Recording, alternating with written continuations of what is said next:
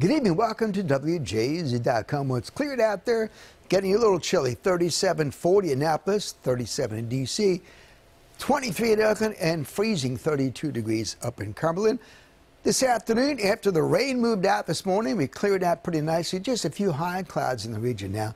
Generally clear to partly cloudy skies overnight. Tomorrow, we'll start off pretty clear. And then during the day, late in the afternoon, maybe a few clouds coming in as the winds begin to shift a little more to the south and southeast. So we'll be dealing with maybe overcast skies for a while. And then on Wednesday, a warm up begins. And with that warm up, more clouds coming in. Maybe, just maybe a shower in the afternoon on Yes, Valentine's Day.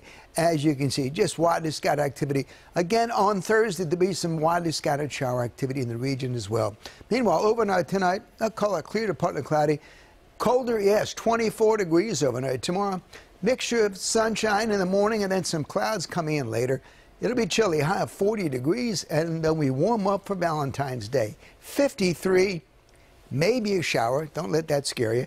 And a good chance of some widely scattered showers on Thursday. But look how warm it gets 67. Then it drops to 58, 29 at night.